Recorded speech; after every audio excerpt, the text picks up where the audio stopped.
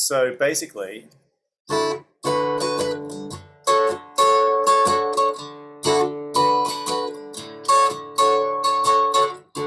that's the first shape, right? That is 11, that is 10. You can leave them both there. The second shape, you're shifting this dude up here. Now that one stays there just probably because it's easier, but you could take it off if you want, doesn't make any difference. Third shape, 9, uh, 10 and 11. He's kind of going, he starts off with a low, kind of a low, low note. The one note to avoid in this song is the E. So, low note, low, low.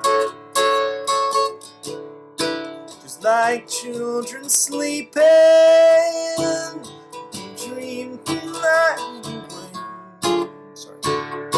So the children's sleeping bit is exactly the same as that chord 9, 10, 11, except three down 7, 8, 9. Children sleeping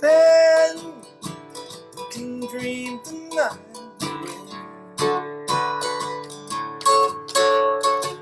That's all it is. I'm not gonna um, actually tell you what the strum is because you're doing it naturally, and I don't want to mess you up. So just just just do what you feel.